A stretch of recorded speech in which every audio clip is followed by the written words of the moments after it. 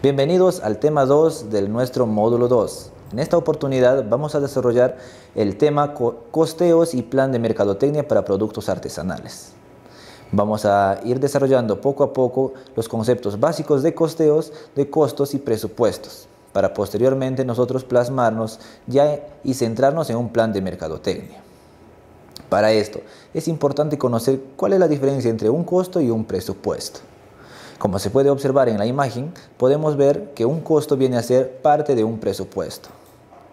¿Qué nos quiere decir? Que el presupuesto ya en sí viene a ser un documento en el que ya se plasma todos los costos incurridos dentro de la ejecución de un proyecto.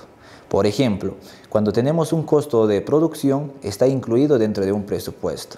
Para el presupuesto ya yo considerarlo, ¿qué es lo que planteo? Planteo un cronograma, ese presupuestar, como su propio nombre dice, es un supuesto que yo hago antes de ejecutar o antes de empezar alguna, alguna iniciativa de negocio o algún proyecto.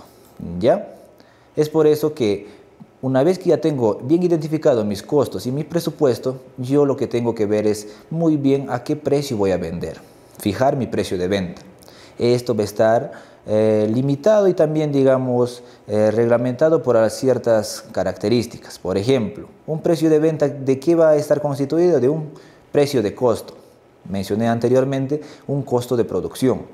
Este costo de producción es la que va a incurrir qué materia prima estoy utilizando, los recursos que estoy poniendo yo para poder producir ese producto.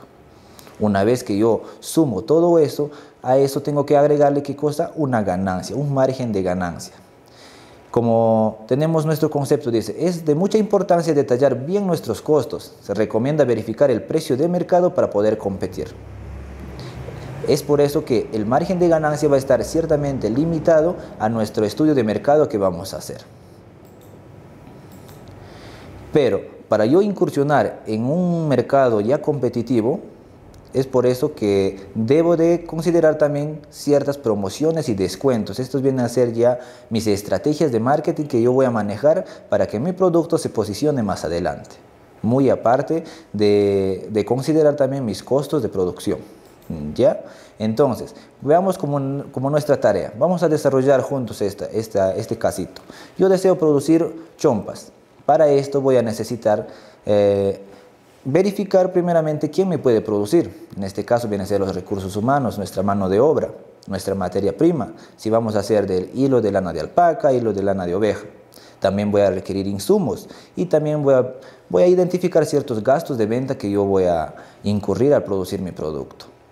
Entonces, yo agarro mi cuadernito y empiezo a verificar y a apuntar todo lo incurrido en ese, en ese producto para yo posteriormente añadir un margen de ganancia. De esta manera, ¿qué estamos ocasionando? Estamos generándonos empleo nosotros mismos y nos estamos pagando nuestra mano de obra y muy aparte de eso estamos generando ¿qué? un margen de ganancia. Una vez que yo ya tengo bien identificado mi producto y a cuánto lo, lo, debo de vender, entonces, ¿qué viene en mi paso 2? Mercadotecnia y cómo y dónde lo puedo vender mi producto bien trabajado, bien diseñado, con acabados en costura, en teñidos y, bien articulado, entonces, ¿qué voy a identificar? Identifico mis canales y nichos de mercado para poder de esta manera diversificar mi producto y poder atacar esos nichos de mercado. Puedo encontrar dos modalidades de, de formas en las que yo puedo vender, los canales físicos y los canales virtuales. Es por eso que es importante que yo como artesano, como asociación, defina muy bien cuál va a ser mi canal preferido, mi canal principal.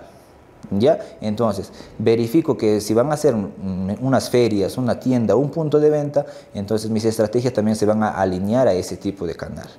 Pero sin embargo, si es que yo deseo incursionar en un canal virtual, por ejemplo, en este caso manejamos las redes sociales como son Facebook, Instagram, YouTube y WhatsApp. Entonces, cada uno de estos también va a identificar y va a requerir ciertas este, estrategias que yo debo de tomar en cada una de ellas para poder incrementar.